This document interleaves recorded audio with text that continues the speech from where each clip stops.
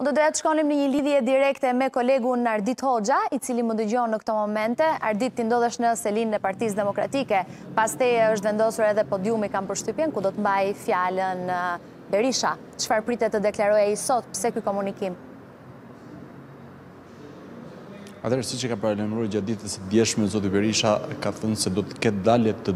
të përditshme të tij për të denoncuar atë që e kanë e kanë cilësuar si një deformim të rezultatit dhe një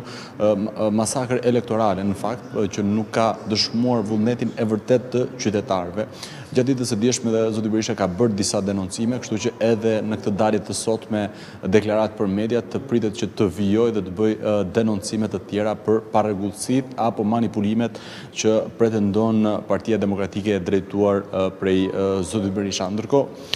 Sidorela, nëse më lejon do doja në fakt të jepja pak kontekst edhe të zhvillimeve që kanë ndodhur në Partinë Demokratike gjatë dy ditëve të fundit, më ekzaktësisht pas dorëheqjes së zotit Alibeaj nga drejtimi i demokratike, ndërkohë në grupimin tjetër, pra që drejtohet nga zoti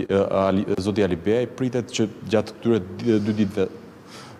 nesër ose pasnesër të ketë zhvillime sa i takon drejtimit të grupit parlamentar pasi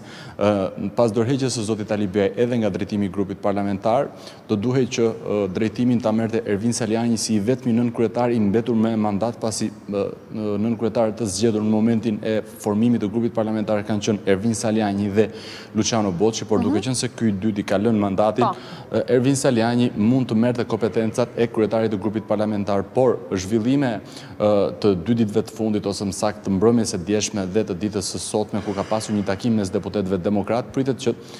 zoti Salianji mos të mos ta marrë në dorëzim ose mos të marrë drejtimin e grupit parlamentar dhe kjo t'i besohet një tjetër deputeti të Partisë Demokratike.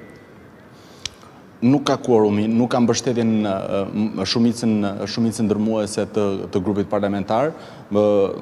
Përbërja kryesore e grupit parlamentar kërkojnë që të vendosin një tjetër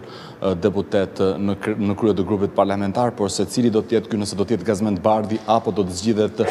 një personalitet tjetër i Partisë Demokratike ose një deputet tjetër i Partisë Demokratike do të mbetet për t'u parë gjatë ditës së sotme ose me gjasë gjatë ditës së nesërme. Ajo që